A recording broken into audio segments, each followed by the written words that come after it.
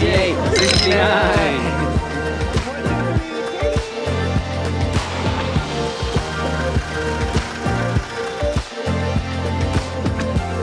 We're at our Voit Company Summer Event 2021.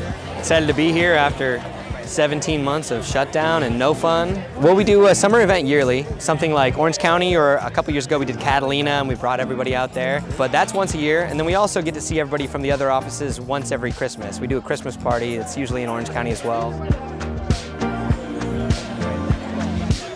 Out here just enjoying some some company. We're, we're usually uh, used to seeing each other around every three, six months, so we're out here just building some rapport, having fun under the sunshine, and it's good seeing familiar faces. The food's great. We've got the music, the DJ. When you've got a CEO as relaxed as Eric Hinkelman, hearing a speech from him, uh, you know, it's just it's just camaraderie at the end of the day.